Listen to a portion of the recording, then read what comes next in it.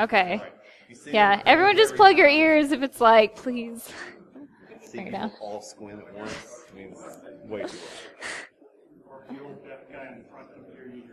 much. Okay.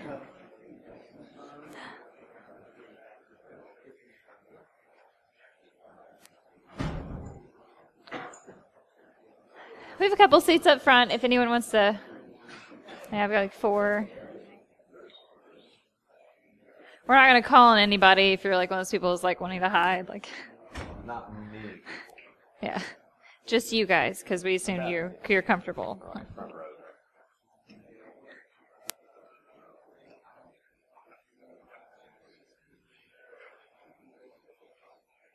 Check it out. They can't control me. Okay. They can't control me. Put your in. Okay. You get a mic. Okay, we're probably good on time. They're shutting doors. Okay. Make sure this guy works here.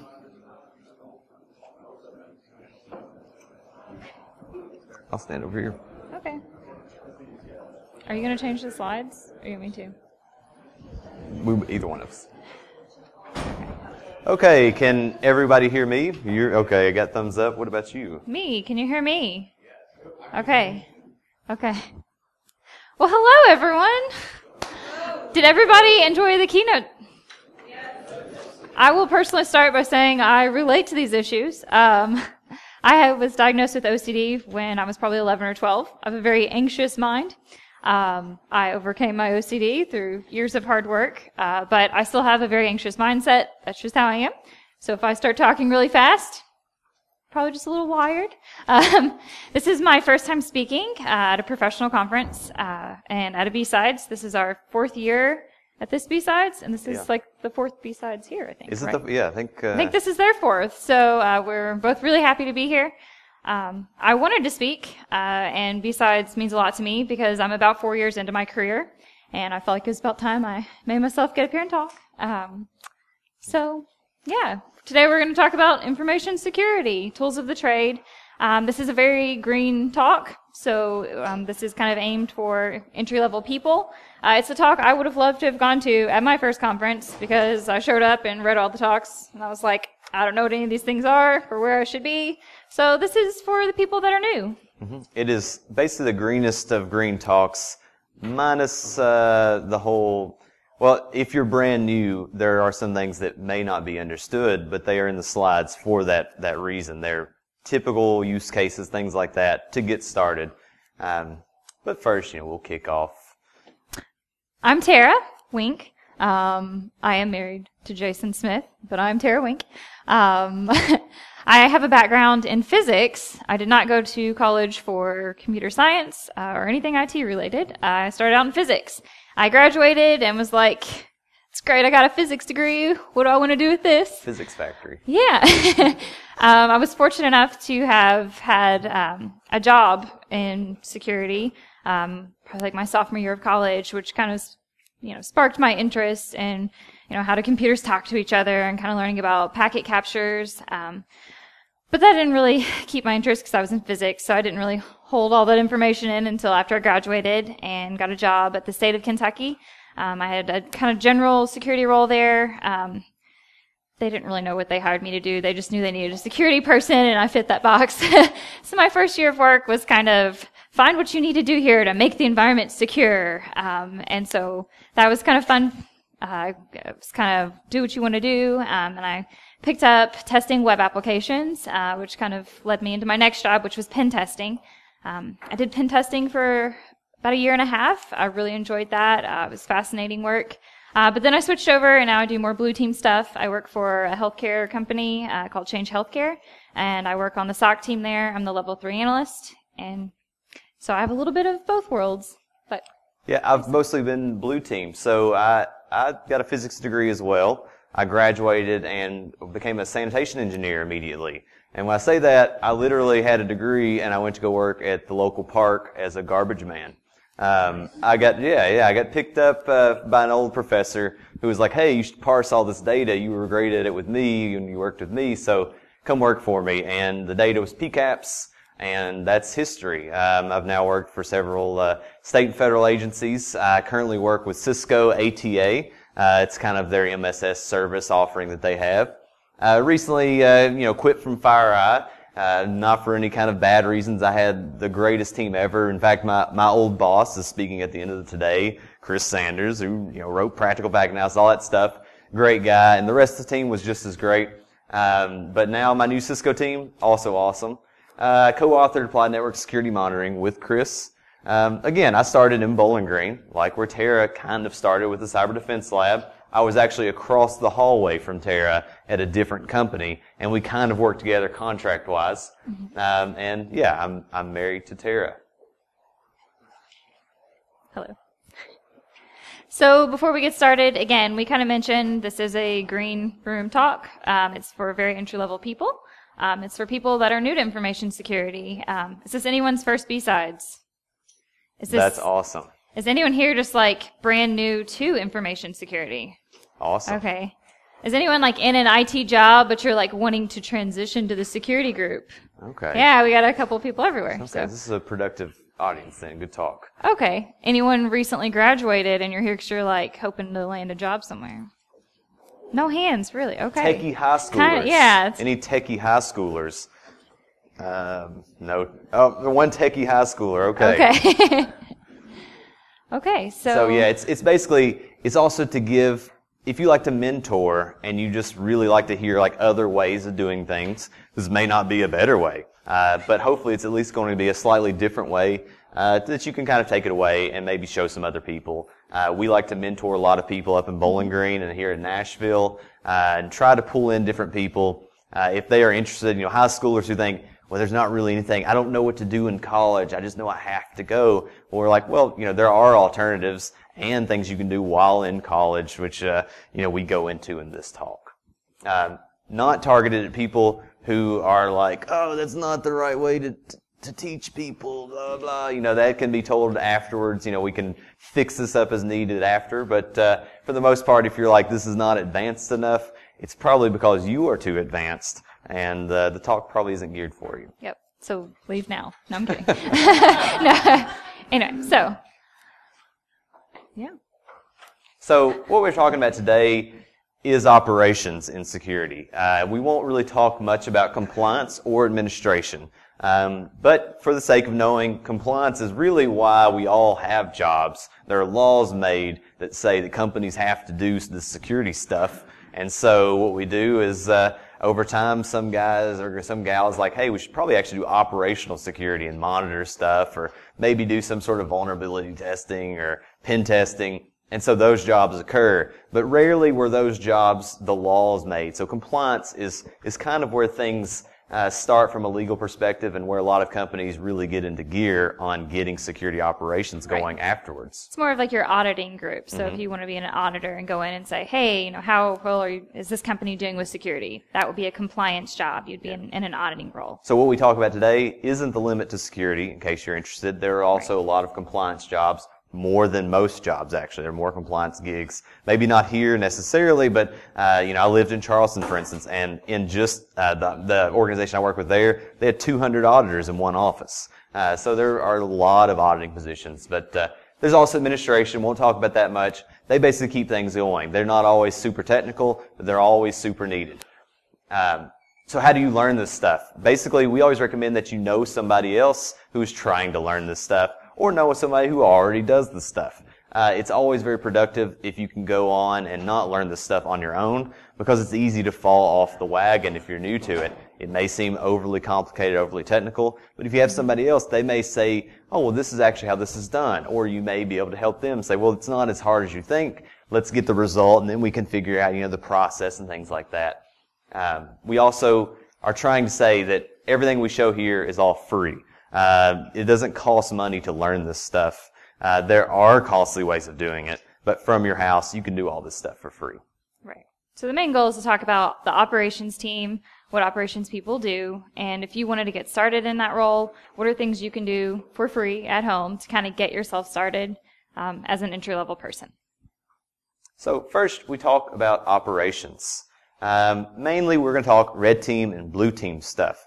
Uh, red team are the hacker types, and blue team are the surveillance types. Talk more in detail about those.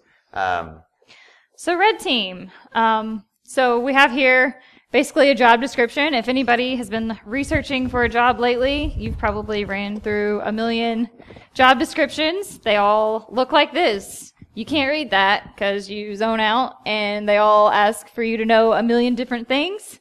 Um, and it's kind of hard to think just by reading a job description, like, what would my actual day to day look like? Like, what does this person actually do? Because they really just want you to do everything. Right. The process is the same for no matter what level of experience you are generally, if you're looking for a new job, you come across a bunch of stuff, and if you are timid, you're probably like, I don't actually know all of this stuff. This is, uh, I feel like maybe I should be farther.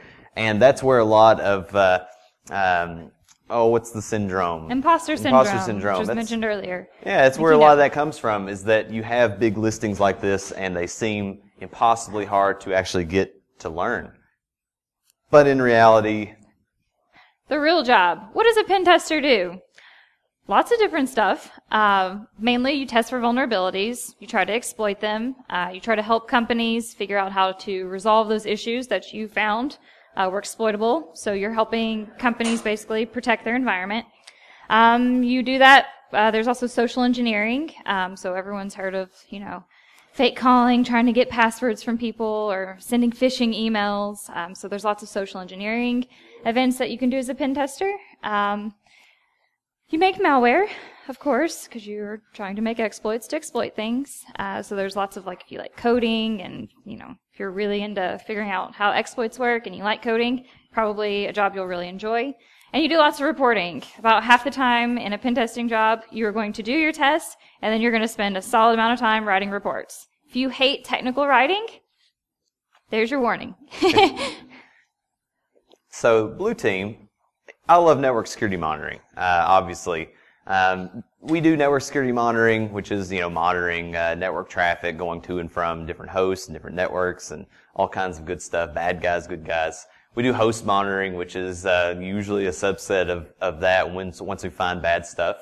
Uh, host monitoring is, you know, going to the actual, uh, you know, host device or something like that, maybe pulling logs, or maybe you already send them to some other searching tool. Uh, a lot of surveillance type stuff.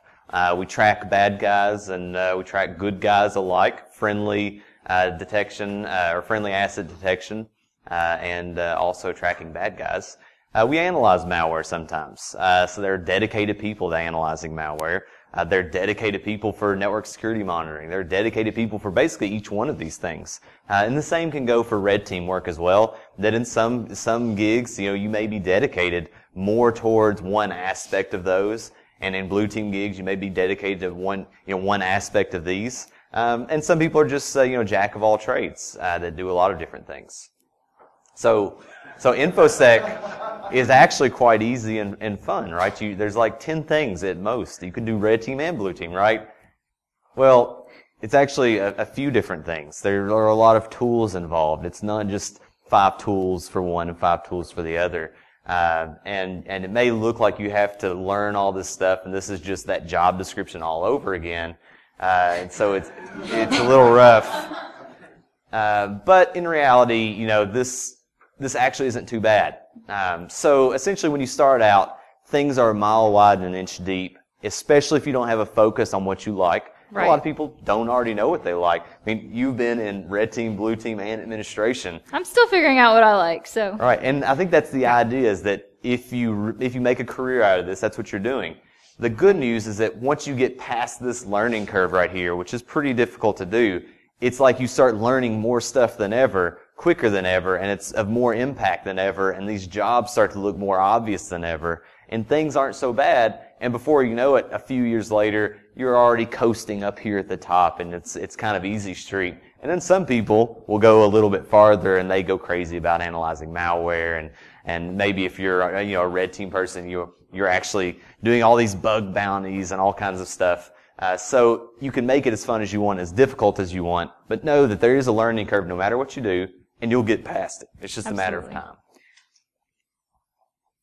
So before we go forward, we're going to talk about some tools, and we just want to warn everybody, you know, if you want to set up these tools and play with them at home, we highly recommend it, but we just advise a lot of caution.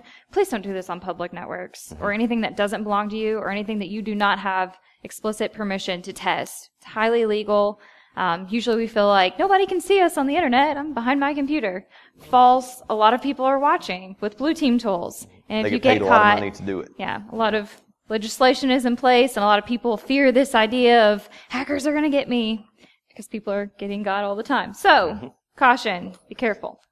So all those tools we mentioned, just forget about. Uh, I mean, in reality, you'll come across what you need as you need it. Right. Uh, but there are some concepts more that, that you should really try to get into, from our perspective at least. It, this is this is what helped us. Uh, it's what we still use today. Um, some some prereqs.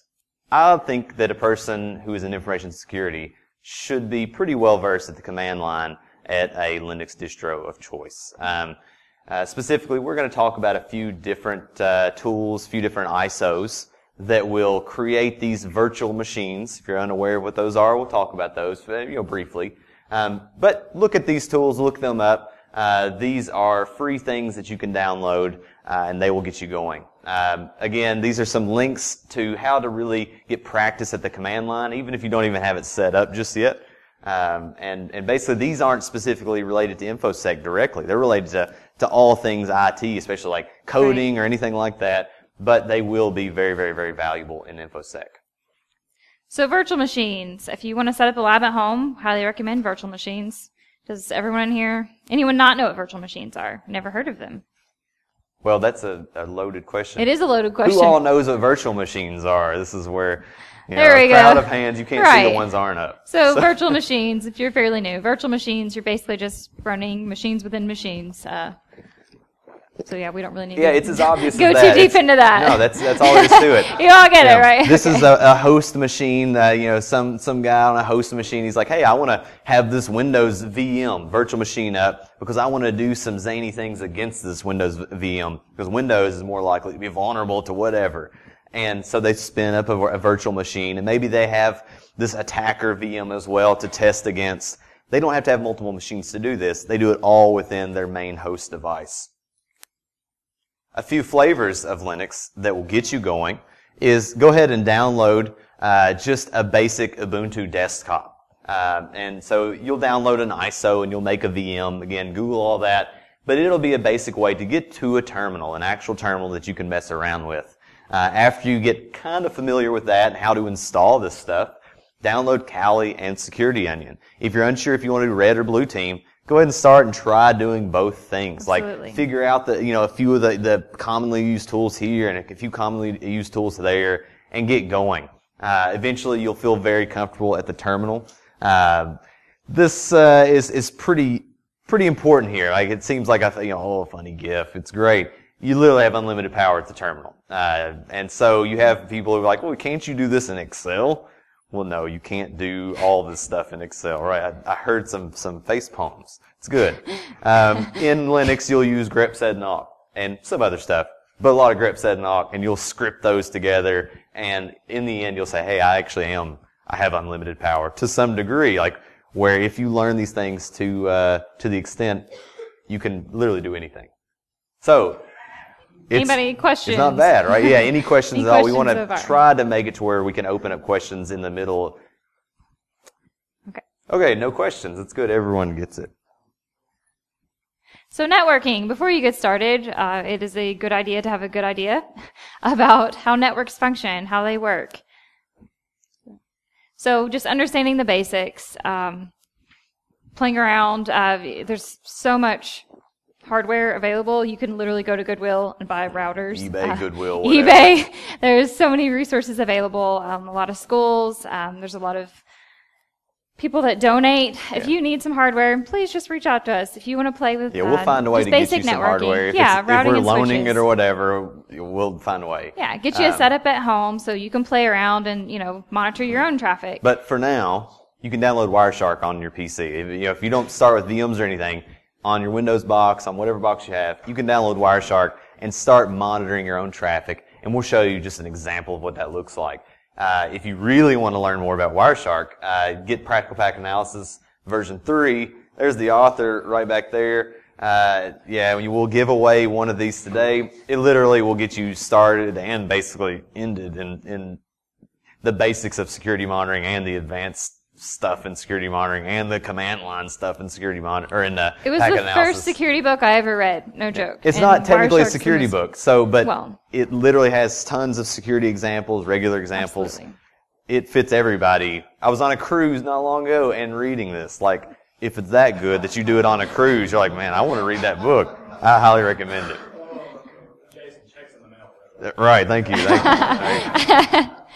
um, so full packet captures. Uh, we're talking about the full recordings of things.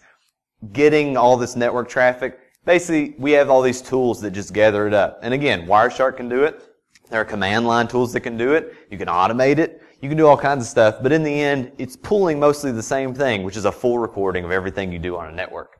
Uh, there are tools when the network traffic is too much that you make metadata out of this stuff, or you make just connection records out of this stuff, like a full recording of a phone call versus just your little connection things that uh, I guess Right. Your uh, phone record that they mail you, give, yeah. Uh, and then there are things that pull out just interesting stuff. This is Wireshark. This is what it looks like. Uh, generally, this is meant to be an intimidating screenshot.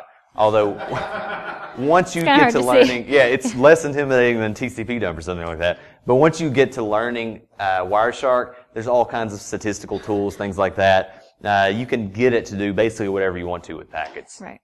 And again, if that's too much information, there are tools that just pull metadata from Mm-hmm. that data so you get a better view of what you're actually searching We'll for. describe those a little bit in this blue team bit. Um, blue team work. It's basically surveillance, uh, mostly. Um, here is Security Onion. Security Onion is basically a big wrapped up uh, ISO, a Linux distribution with all of these blue team tools. When I showed you the little graph, basically on one side of that graph were a bunch of tools that are included in Security Onion. So you don't have to really install any of this stuff. There's no challenge to getting it running. If you can get Security Onion running in a VM, you can do this. Uh, all the tools are open source within Security Onion. Uh, you can you basically reach out and ask for help on something. If there's a bug or whatever, you're probably going to get the tool author who comes back directly to you and is like, "Hey, you didn't try this. Come on." Um, but sometimes they'll be very helpful. Uh, it has a lot of graphical tools, a lot of command line tools. Um, you can basically do everything that you'll do in Blue Team work, you'll do here. Here's an example of pulling some of that metadata. So right here, it looks like a lot of text, but pay attention to what's actually on here. Uh, that there's laser works, it does work. Oh, not there. Um, it's a TV. Uh, basically, I'm pulling all of the images that uh, this person browsed to uh, on this lowcostusa.com and photobucket.com, where basically I just said, "Hey, print everything out." But then just show me the JPEGs. And you'll have the top right here, this grep JPEG. Again, I said grep sed and awk. I just said, hey, show me the JPEGs that are at the end of this. Uh, and so these are the files that this person actually went to. Uh, the silk output here doesn't make any sense in this context. But this is an example of all those connection records that in huge networks, you can easily pull stats on who is the, you know, the busiest talkers, what guy's talking out to China a bunch, uh, you know, any kind of thing that you want. So again, that's metadata that's basically pulled from the full packet capture. So you Data can see all data. of these things in Wireshark, but you have to really filter it down. So And on the fly, this is the, the faster way to do Right. it on like large networks, large captures. Uh, this is an example of Network Miner. I just put a PCAP in and out came all these pictures and credentials and all kinds of stuff. As you can see in the tab at the top, uh, this is a little coffin I built. Uh, I put wheels on it and uh, uh, it hasn't worked yet, but uh, as in it hasn't killed me yet. I'll sell it to you. We'll talk later. Network security monitoring is collection detection analysis. To wrap it up in a really summarized way, collection, you collect all this stuff. Uh, detection, there are a lot of tools to bring out alerts and things like that. And then analysis, you actually do human, you know, hands-on stuff and interpret that for other people. Uh, the whole process here, there are a lot of different tools used for these things. Uh, specifically, like things like Snort and Suricata, they alert on stuff. You say, this is what a, a signature of what something bad looks like. It's going to look at all your data all the time and say, oh, I found that signature. Here's an alert for it. Maybe you should check it out. Uh, Bro, again, it's data about data, but can be used for detection as well. Mm-hmm. And then analysis. There are all kinds of different graphical tools that you can parse through all this data. I'll show you some examples in just a little bit Right. um, when we do a red team, blue team example. And again, those are all packaged into Security Onion, so you don't have to download and install them all, which is very nice. Red Team tools. So we have a different set of tools. Some tools we share with Blue Team, but we have a specific operating system we use, which is called Kali Linux. I'm sure a lot of people have heard of Kali Linux. Um, like Security Onion, Kali Linux is just prepackaged with all of the common pen testing tools. They're all built in. Again, one more warning. Please, please, please do this in a lab environment. Don't just go testing your bank online. Even if you think you have don't do permission, you don't always have permission from Right. all parties either. Uh, you may have someone at, you know, Right. your cousin's company, and he's like, "Oh yeah, you could do that here." No, that doesn't You need written you approval, permission. right. Even if you are in an engagement with a client and they've given you a range of IPs and they're like, "Yeah, we want you to, you know, test these ranges," and you've compromised that, and you can go to a whole other subnet. No, you Doubly can't. They didn't give you permission. Don't do that. So it's just easier to learn the stuff on your own. Mm-hmm. in VMs and stuff. Uh, the same goes with the blue team monitoring before. You really don't want to see what your friends and family are browsing to on the internet. And when you accidentally start monitoring them, you're like, hey, this, this is not a bad idea. It's harmless. It's passive. It's not so harmless uh, to you because you're like, oh, yeah, you're like, I now know them Right. very personally. Um, again, these are yeah some examples. There are many warnings out there. You can't possibly do this stuff without seeing these warnings. Heed all of them. Uh, I mean, you have uh, Aaron Swartz isn't the best example of you know a hacker or anything like that, but he is a good example of where the law really hammered down on a guy uh, based on a tons of you know tons of different laws that they tried to, to put on him. In the end, they went through a bunch of legal proceedings, thought it was going to be nice and fine. He tried to make a, a plea agreement. They said no, so he hanged himself. He's dead now. Uh, and, and all because he, he wasn't even doing the stuff that we're talking about today, which in a minute will be like physically, or not physically attacking somebody, but it's basically they perceive it that way. You have, in, in the end, they will crash down on you very hard. And again, people are paid to watch this stuff. So, what is a great way for you to set up something at home and practice? Uh, well, we highly recommend if you want to be a red team person, knowing the blue team side as well. So, downloading both Kali and Security Onion. Uh, Metasploitable 2 is basically just another um, operating system that is already vulnerable. You just have to turn it on, and you've got an operating system that has a bunch of vulnerable software ready for you to attack. You don't have to do anything, just turn it on. Um, so you can, you know, try try attacking it from your Kali box. Uh, try monitoring your attack with your Security Onion box. So, typical pen testing methodology. There's generally, um, you know, I've heard different methodologies, but in summary, what you're going to start with is doing, you know, a discovery or a mapping of the hosts that you're wanting to compromise. So you're going to start with like a network scan, see which hosts are out there, um, you know, what services and ports are available for you to, you know, attack. Uh, you're going to do an assessment on them. So you'll do some sort of, you know, you could do manually vulnerability scan, uh, or you could run scanners. There's lots of free uh, scanners available. Uh, then once you find what's vulnerable, you want to exploit it. Um, and there's lots of tools already on Kali Linux with exploits ready for you to fire away. And then once you've done that, you pretty much rinse and repeat. So the discovery phase. What is the discovery phase? Um, again, you're mapping what's available. Uh, let's say you're on a pen test. Uh, you know they've given you an IP range. Uh, you're gonna first want to say who's home. You know um, what's out there, what's available for me to attack. So you're gonna run probably an nmap scan. Nmap is one of the most common tools I know of. Uh, it stands for Network Mapper. Um, so basically, what you see in this slide, uh, we're scanning a range, and we're seeing that there are four hosts that report back and say, "We're live on the network. We're turned on. We're home." It's basically just uh, rattling some windows to see, uh, you know, who is actually home in here, maybe peeking through and, and seeing what you can do. There are more invasive things that you can do to, to test this, uh, but this is just a very basic thing. If you're on your home network and it's all trusted and uh, you have everyone's permission, you know, scanning your home network is something that will reveal what hosts are actually up in most cases. Um, so here we did another nmap scan where we basically just said, hey, uh, we see that this one host is up. Scan this host. Tell us what services are turned on, what's running. Uh, and nmap can go so far as to guess what version of a service is running. Uh, we highlighted this FTP service at the top. Uh, that's VSFPT D 2.3.4. Uh, so that's going to follow through in our example. So just note there that you know, we scanned that host, we saw that that service was open, and that's an older version of that FTP server.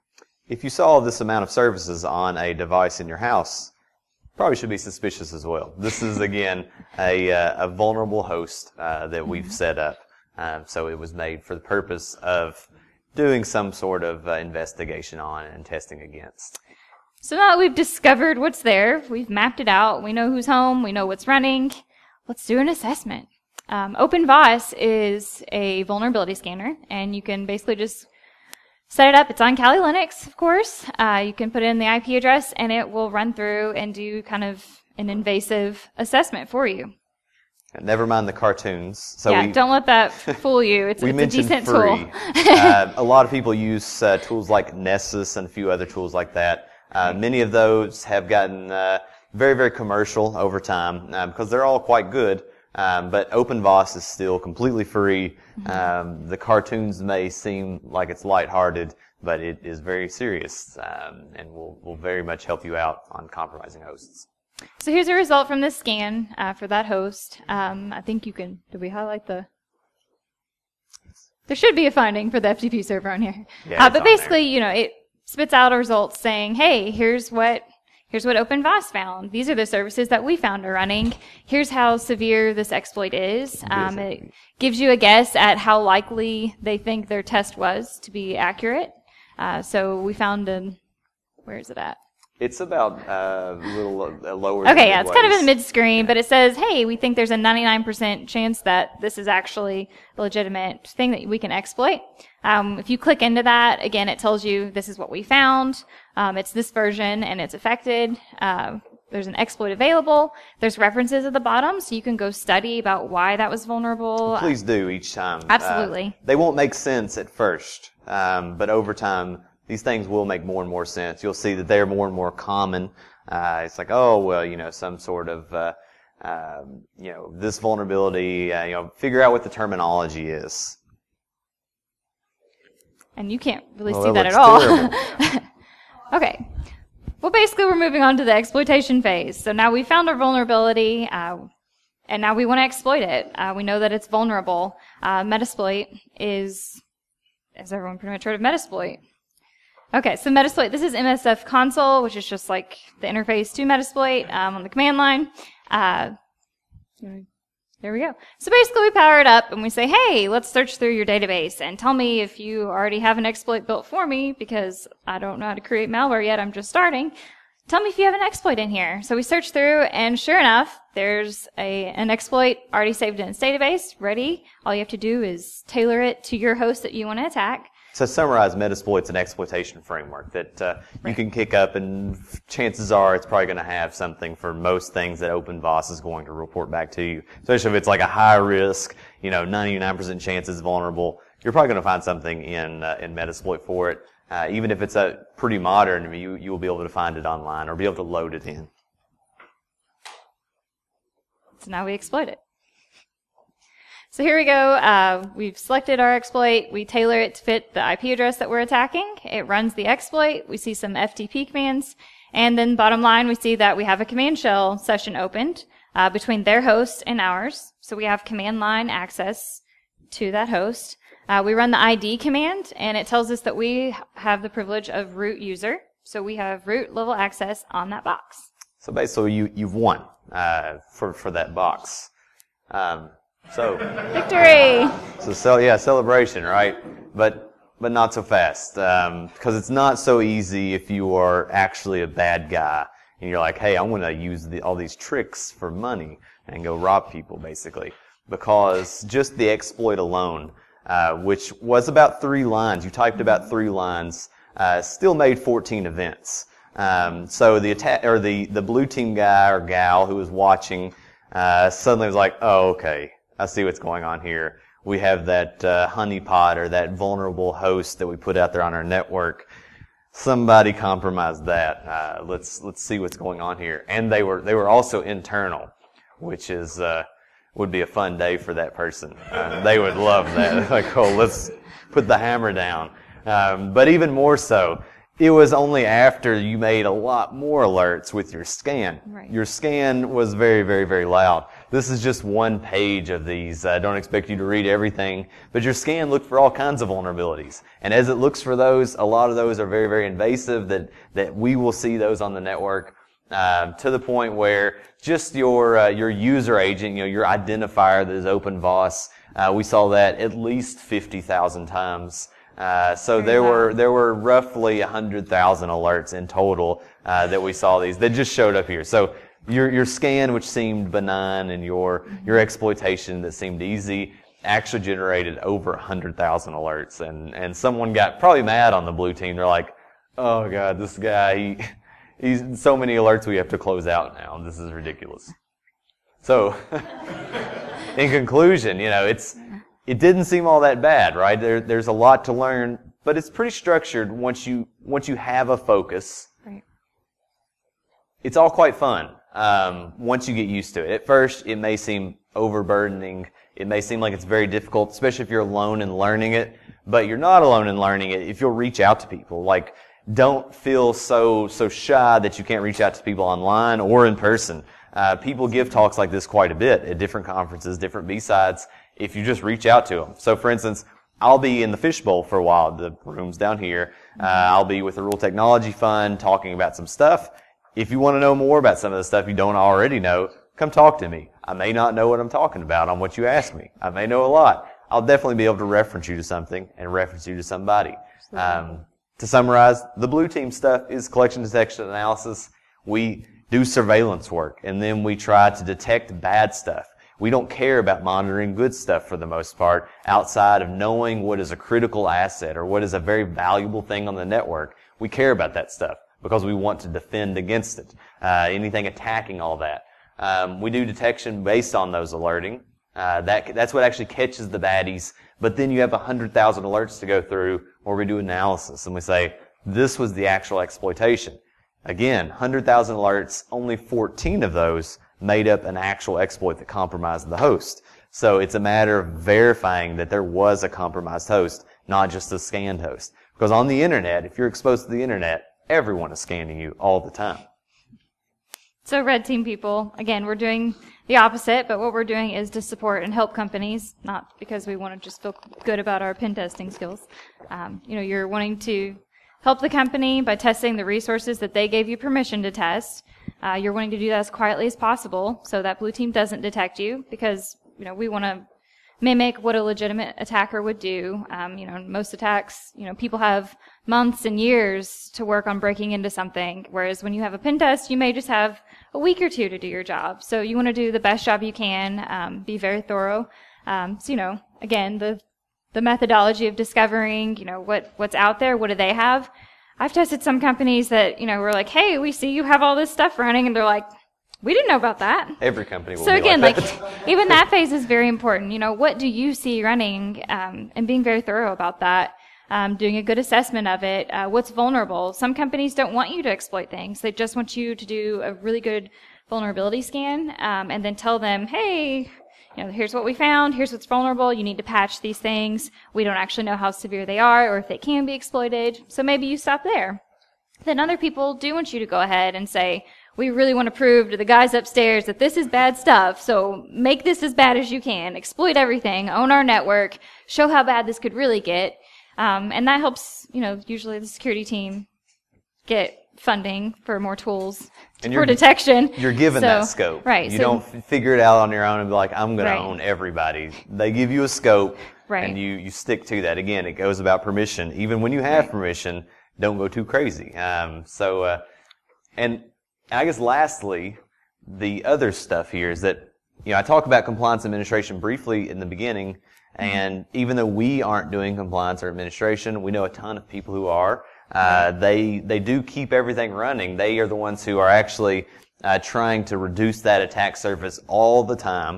Uh, Right. They're keeping your company legal. They're keeping your security department intact. Um, they are. Uh, while we talked about operations, this I mean, there you could talk for days on compliance and days on administration. Absolutely. And I think the main point is that everybody's trying to work together. You know, like, yeah, red team's really cool. It's kind of portrayed as the sexier side of security because you know, you're a hacker and it's so cool. But but blue team is just as important. And you know, I've I've played both roles so far, and I can honestly say that by being a red team person, it's made me much better as a blue team person now. When I see a scan, I'm like, guys, we need to pay attention to this. Like, you know, I I kind of have you know, you can kind of see both roles. So, you know, I think that's important. They're the same coin, just two sides of it. Um, and the main goal is to protect data. So, So how do you actually get a job doing this? Um, you don't want to go into interviews and feel very nervous because you don't know anything. Um, you can't expect, in most cases, to get a job and then start learning. Uh, that's the thing about information security is that there are few jobs available to people who are not are not currently skilled. Uh, and a lot of times when a place is hiring, it's because they have no one or they have no one skilled currently. So don't expect to even go to a place if you get that job and be able to easily learn. Your key is actually taking it and trying to make a passion out of it. And a lot of times, again, that comes to knowing somebody else and trying to like bring people together to maybe learn it with you because it's so much easier to stay on it if you do that. Um, certs, they're great, but they'll get, and they'll get you through the door to an interview, Right. but don't rely on a cert. Don't think that you can say, oh, well, I could either learn this on my own for, you know, weeks and months at a time, or I could do this week course and be done. Like, it takes more than a week to learn this stuff. And, uh, usually people anyways don't have the money for those week courses when they start out because they're not actually in a job anyways. So get experience. to add on to what he was saying about like, you know, when you're researching jobs, you know, and they, they have like 15 to 20 bullets of we want somebody that can do this, this, this, and this. I've interviewed for many roles where I looked, I maybe only knew like three to five of those bullets that I felt like I'm moderately confident I can talk about these things. And that's okay. Most people just, you know, a lot of people are posting because they want a superstar that can do everything. But that doesn't mean that they don't want someone that can do five of those things really well. They understand. I feel like our community knows, like, it's really hard to find somebody that just knows all of it. There's way too much to know. And I, I do think the community is very understanding. So don't let that hold you back from applying to jobs that are interesting to you because you will get there. It just takes time to get up that learning curve. And maybe most importantly, uh, it's it's good to make this a career if you really jump into it and spend all this time, especially if you're in a job and you have to learn this after work and you're spending nights and stuff. Just make it make it a career. Start going to. You're already here, so it's already a good sign. Uh, but contribute at B sides, things like that. They always need help. Uh, you know, if you like to code, take on a security project. That's a great way to re- get really interested and get other people interested in you uh, in the community as well. Uh, and once you you know you grow forward, maybe either contribute or start a technical blog. Maybe nobody will read it, but you will have been blogging things, and actually later on down the road, you'll be able to look back and be like, I remember when I was doing that, and it'll be good. So, Questions? Anybody? Yes. Are there any actual packet, cap- packet capture tools that aren't built on libpcap? Uh, so yeah, I mean they're on libpcap specifically. Uh, that's a good question. What do you think, Chris?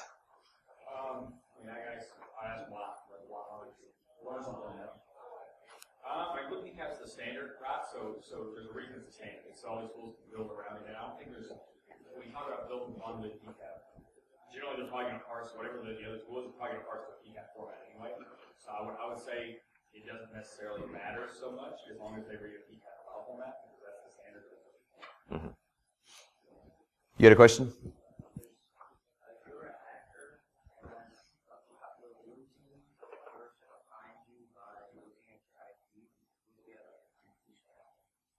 So the question was, if you are a hacker and is a if a blue team person, can they find you uh, based on IP? Uh, so this can actually be this will be a fun political question.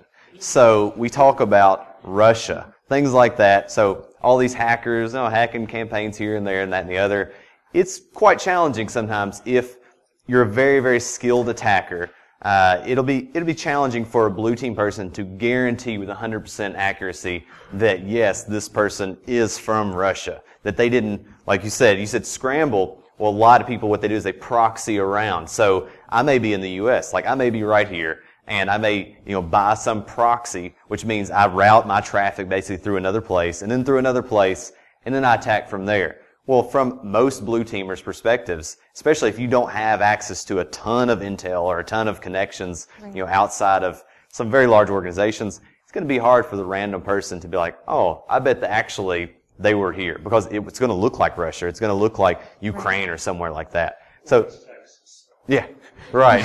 So, so yeah, it's, uh, It's very hard to confirm if the source that you're seeing is actually that source.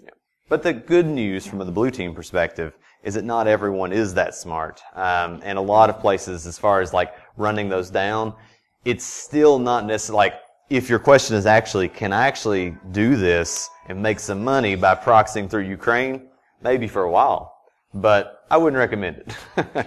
In a pen testing like engagement where you know a company's paid you to come in, usually all of the pen testers will give the company like like I was testing from my house, so I just gave them my home IP address. That way, the blue team like usually they won't tell you know the blue team people that a pen test is happening. They'll wait and see if they catch it.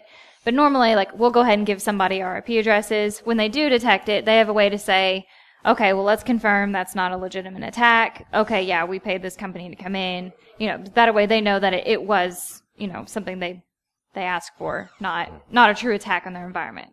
So how often would it come up that you'd be dealing with backfill on production servers? How often would it come up that you're dealing with production servers in work? Right.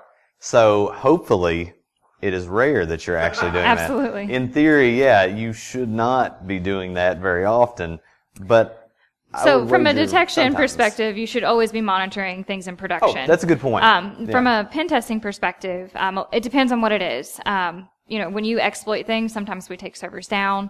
Um, we may request uh, that they, you know, use something that's in their QA environment so that you know they'll just you know make a, a backup copy and let us attack that. It really depends on what the resource is and how important it is. You know, if or we've had companies that request, hey, we want you to do a big vulnerability scan. But sometimes that can hurt the bandwidth or really take you know take them offline. So they may request we do that at nighttime. Uh, so that way they have time to recover if there's an issue. yeah. Right. Well, so right, all of those things in a pen test, they are very, very thorough. Like, you know, they talk back and forth. They get a very clear line of what are, what is our scope of our engagement. And we do not go outside of that scope. Yeah. But that's a consulting pen test company Mm-hmm. too, that they do this all the time. There are some companies who have like one red team guy. And maybe it's, uh, you know, this person has like just started learning or something like that. And they're like, hey, can you do a vulnerability test against all of our stuff? And maybe it's a bunch of old legacy things. And next thing you know, they're bringing down some sort of network equipment. Like, I don't know how this happened. Of course you don't. You just started. Like, you, you really can't be expected to know. Yeah. But like, yeah, so it's, it's on the company sometimes to know the stuff. Right. But again, it, it comes down It to like not many it- companies yeah. have that knowledge. So that's why a lot of times they go to consulting companies because, I mean, these are companies that are entirely made up of people who know the stuff. Right. say Tara, with Twitter handle, but I'm thinking next time you do this, at least wear a blue shirt. You know, we tried to, but all of his blue shirts, like the centers were like wrinkled funny. And, he, and I was like, that's wrinkled funny. He's like, all my shirts are like this. Yeah, Like, I work we- from home, We so need it's to like, get you some more shirts, like bro. dress clothes. I, what is this? It's just, they're all wrinkled. It's Yeah. well, okay, yeah. Wear some like linen or something that's naturally wrinkly. So Yes. Well, I might amplify one point I think you were making. Part of where I've learned some of what I've done is by working in volunteer organizations mm-hmm. and helping to set up, and then that also let me pull off a little bit of a corner mm-hmm. that I can go from both sides. okay, yeah, yeah, yeah. That's true. You just gotta be careful about the stuff that you don't know that you don't know. Absolutely. yeah. yeah. Be honest makes with work yourself too interesting, on that. though. Sometimes an inexperienced security person is better, and sometimes worse than no security person. Absolutely. Good point. Yeah. How will they learn? No more. else? There's no more questions. Yeah, we will give away some stuff. Yeah. Ta-da. Okay, so I'll be I'll be um, the Price is Right uh, show person here. Okay. I don't. I guess we need this now. I guess you don't. Tell them what we have. No, let me hold it. Oh, I'll be the Vanna. Da. So this is Practical Packet Analysis by Chris Sanders. This is version three. It is flawless. That's right. It comes with a Rural Technology Fund card in here because they are the ones who have uh, pushed this forward. Rural Technology Fund, again, you've already heard me probably before this talk, but they are an organization, a nonprofit that goes around and making sure, they make sure that rural schools and rural areas have the opportunities, or at least close to the opportunities, that uh, more urban schools have. Uh, a lot of urban schools have tons of funding, uh, sometimes too much funding that they, they don't even know what to do with. This is a means of giving rural areas, uh, you know, 3D printers and, uh, you know, labs of Chromebooks and things like that. Raspberry Pis, Yeah, like Raspberry Pis, if they have a need, uh, especially if it's a need for like a dispersed classroom, chances are the Rural Technology Fund can provide, especially if they reach out. Uh, there's means of reaching out to the Rural Technology Fund if you're with a rural school or something like that. Uh, and there's a, a means of recommending. You can reach out directly to them.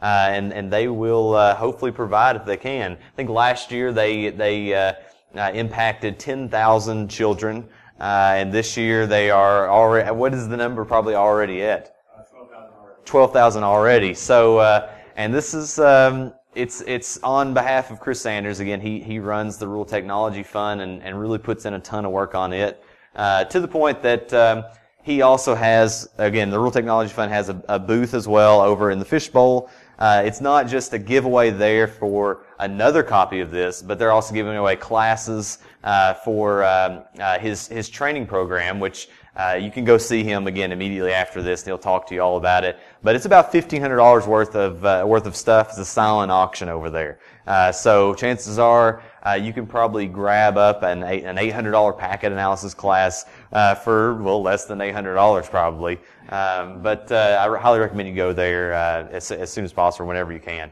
But, for the now- book, yeah, the book now. is what we're giving away, and the book is really awesome. Um, again, this is one of the first books that I started with. It's how do I use Wireshark? How do I capture, you know, PCAP?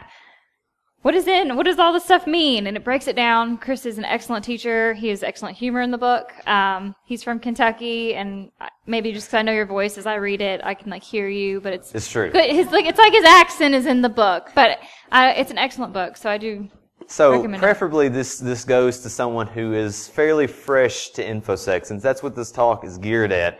Um, of the people fairly fresh to infosec, youngest person. Mm, or trivia question. This is a hard one. I don't expect an answer.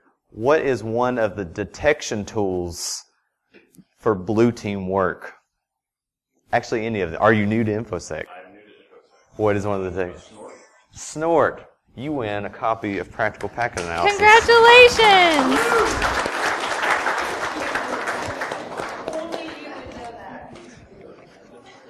Your keynote speaker, the Defensive Security Handbook, which was recently released, and a lot of other goodies that you will have to discover once you win this. Do you have another trivia question? No. You don't have a trivia question. I didn't. You didn't tell me to prepare for that. I did not prepare either. Um, so Wasn't in your scope. it wasn't in my scope. That's right. Good Thank point, you. yeah. He gets me. That probably could have been the trivia question. What is the most important thing that you should do before you do any of these activities? Oh, you're first. Are you new to InfoSec? Did I, I don't know if I said new to InfoSec. My hands up. Who said what? I said give permission, and I'm, Are y'all together? no, Okay. I feel like everything going to the same house would be somehow wrong. no, we, we all three took the same Cisco routers class. Cisco people as well taking Cisco classes. Uh, okay, my pulling on my heartstrings. Uh, Cisco's watching this at least. Uh, uh, so, okay, well, we appreciate everything. Uh, again, please make it over to the RTF booth and uh, have a good day. If anyone has questions about jobs, come talk to us. We'd be happy Absolutely. to tell you about those roles. All right, thank, thank you very you. much.